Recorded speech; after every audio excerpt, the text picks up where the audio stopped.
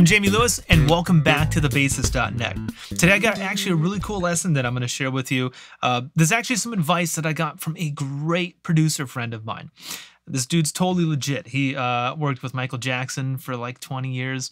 Um, he's done movie stuff with Spielberg and George Lucas, and I'm not name dropping here to, to make myself look better. I'm just saying this advice came from a very very credible source. And so anytime I hear things like this from people, whether it's in person or in a documentary or something like that, uh, it's just like, oh, I need to write that down because that was good. And so here's something that this person told me. And, and, and well, actually, the reason why I thought of it um, is because I did a session recently.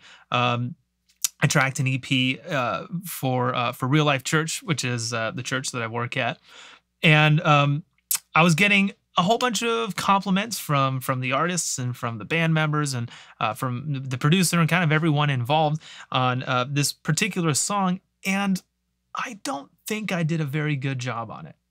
And it's kind of funny because as a sideman, it's and in this case I was. It's less important to me what I think, and it's more important what the producer and what the artist uh, thinks about what I'm doing. Um, and so I might play something that I'm not that happy or comfortable with, but they love it, and it's like, well, it's your thing. So it's more important that you like it than I do it. And I'm not saying that, you know, I abuse that or I'm, i put out shoddy work just for a paycheck. You know, I'm not, I'm not, advising you do that. But they were really happy with it. Um, and it's not that it was bad. I, I didn't I, I didn't do a bad job.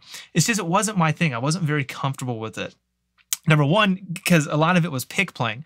And I can play with a pick. I have, and I did for years, but I don't really anymore. So I've lost uh, most of my chops. Um, and so my timing's not as good. My feel's not as good. It's just, it, it's not me.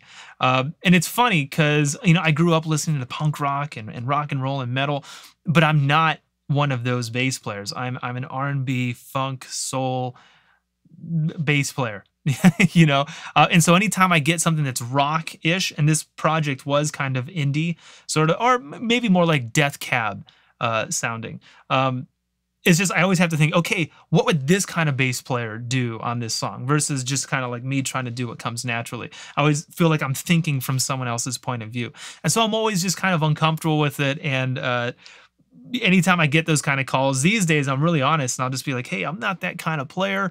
Uh, but, you know, if you if you really want me to do it, I'll do it. But I kind of recommend you hire a different guy for the job because you'll just get it done faster. Anyways, I, I I bring all this up not to whine or to complain, but to try to explain why I think everyone likes what I did when I kind of feel so inadequate about it. And it comes back to this advice that this producer told me about that I uh, brought up at the beginning of this whole entire video. I don't think they like what I did. Uh, in other words, I don't think they're particularly in love with what I did. I think they just noticed it. I think they like the placement of where I did what I did more than what I actually did. Um, it, it, just stuck out to them. Let, let, me let me let me play a, a, clip of this for you. This song's called "Our Hope Came for Us," and it comes from the RLCM Real Life Church Music uh, Christmas EP that we just came out with last December. Here, check this out. No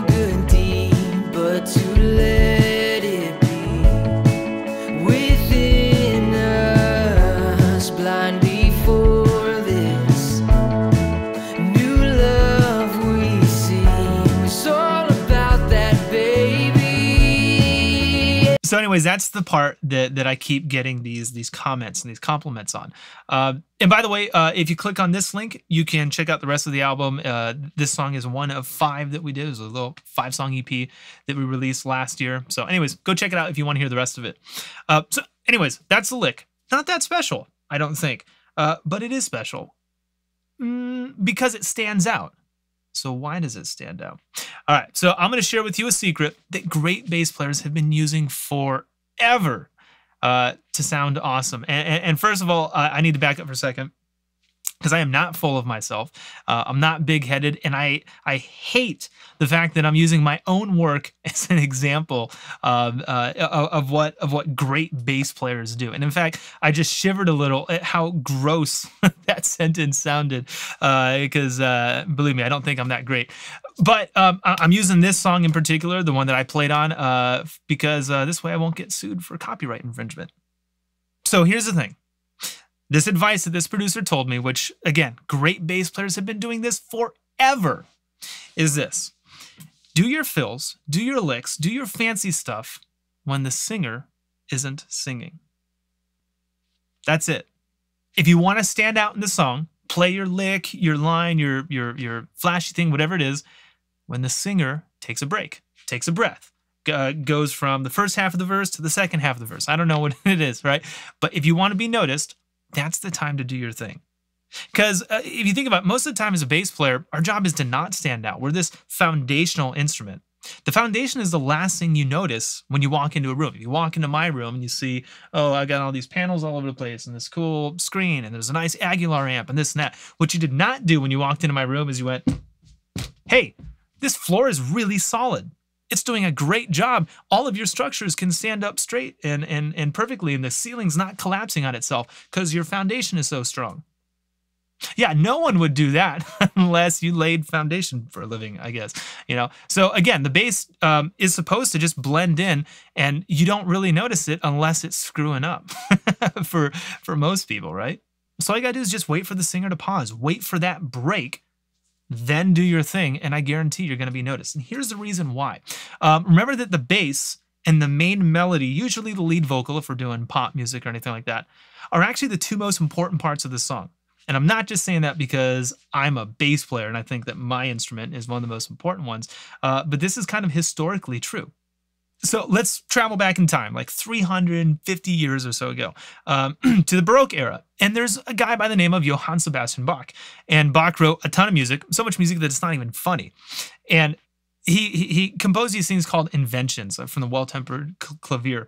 And uh, Bach inventions are, are two voices right? So the right hand would play da da da da da da da da and, and then the left hand would play too. But they were only ever just single melodies. Maybe at the end he would have a chord, you know, like multiple voices, but for the most part, it's two voices. In other words, I could sing one part, you could sing the other part, and we could play them together. So we only ever have two notes happening at once, a melody and a bass line, right? So how was Bach implying dominant chords? How is it, how is it that you would hear a seventh chord? Because a seventh chord requires four notes. He would play dominant sevens, minor sevens, diminished sevens, like a harmony that requires more than the two that you have. So how did he do it? Right. So you take into account the the the, the melodic line, um, the passing notes, the neighbor tones, what was happening within the bar, and it tricks your ear into hearing like, oh, we're outlining a dominant chord right now but you didn't hear a dominant chord. Four notes were never played at the same time, yet you still heard it. Why? Because of what the melody was doing and what the bass line was doing. And those two things together create the whole chord, even though those middle voices actually aren't sounding at the moment. They may have been before or after, uh, but the harmony is being implied by the top and the bottom. And so that's the reason why this trick works so well, is because the singer and the bass player are working together in pop music and jazz and, and, and whatever the genre is. We can go back to Baroque and everything forward uh, is being done by these two notes the melody, the, the, the high melody, and the low melody. You, the bass player, are still a melodic voice. Probably the most important one right next to that high melody. So let me bring it back now to to to the modern day, right? Um, and this idea of playing your bass licks when the singer isn't singing. And I actually have a perfect example for you. Uh, Paul McCartney, one of my favorite bass players of all time. And the Beatles is obviously one of the greatest rock bands of all time. And uh, I, I, I, can think of an example in in the song "A Little Help from My Friends," right? What would you know?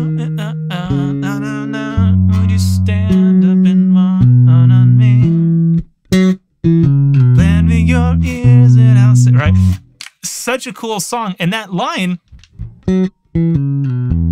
wasn't that great. But you noticed it, didn't you? Not just because you're a bass player, but listen to it happened in the phrase. When you stand up and walk out on me, lend me your ear. Right? It happened in the pause of, of the vocal line, and it sounds great. You noticed it, um, and everyone notices it. And again, it's not that special a line. It's four notes. There's really nothing intricate about it other than, you know, it happened when the singer wasn't singing. And so again, Paul McCartney's a great bass player. Great bass players have been doing this for a very, very long time. And again, I'm not comparing myself to Paul McCartney, but if you listen to the song that I played again, you'll hear exactly what happened.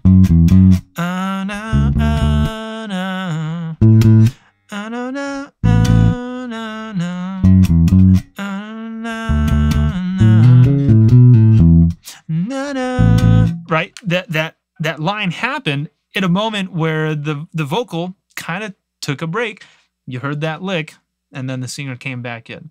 And again, I think that's why everyone keeps saying they like it. Isn't the fact that I think it's that's cool because that line is just not that special, but you heard it.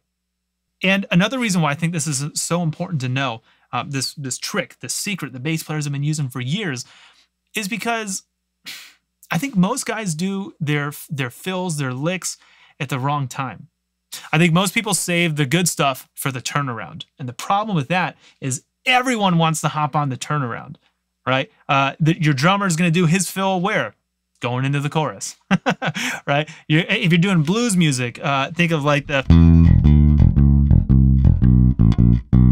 Everybody is trying to squeeze in their their fill, their lick, their whatever the thing is, at that spot. And if you try to do it too, um, you're just going to lose because they're louder than you. They're probably faster than you. Their instruments are in a frequency range that just puts them in an advantage. So if you try to do something at the same time as them, not only will it sound probably cluttered, uh, but you're also just going to be either walking all over it or they're just not going to hear what you're doing because uh, you're playing a game that you're going to lose, right? But this is one that you can win. Again, the singer and you are like this. You guys are the two most important parts of the song. So if you think of it like a game of catch, the singer is singing the melody and he throws the ball to you and you do something cool and you throw it right back. Uh, man, that, well, that's called counterpoint. It's called orchestration. That's called arranging. And it sounds brilliant when it's done correctly. So like everything, this isn't a, a, a, rule. And I can show you just as many scenarios where someone does the opposite of what I just said and it sounds fine, all right? So obviously you can break this, but um, that still doesn't change the fact that it's in my bag of tricks. It's one of my go-tos. I use it all the time. And again, it's a secret of the pros. I didn't know it until my producer friend shared it with me and I went, huh, you're right. That happens all the time. That's a great idea. I'm going to use it from now on. So give it a try. Throw this in uh, with uh, your cover band or if you're playing at church um, or you're writing songs. I mean, whatever it is that you're doing, try dropping in this technique and see what kind of difference it makes in your sound. And then leave me a comment. Let me know how it went, okay? So take care. I'll see you next week here at thebassist.net. Hey, if you like what I do, please click on the subscribe button right here. And if you really like what I do, then click over here to see how affordable it is to join me at thebassist.net. But if you just want the free stuff, then click here to check out whatever YouTube's sophisticated robots think you should watch next. I'm sure they know what's best for you.